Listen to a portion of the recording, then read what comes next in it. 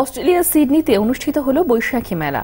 Doctor মাসুল হকের সভাপতিত্বে অস্ট্রেলিয়া আওয়ামী লীগের সভাপতি সিরাজুল হকের সঞ্চালনায় উদ্বোধন করেন অস্ট্রেলিয়ায় বাংলাদেশের হাইকমিশনার কাজী নিমতিয়াজ হোসেন।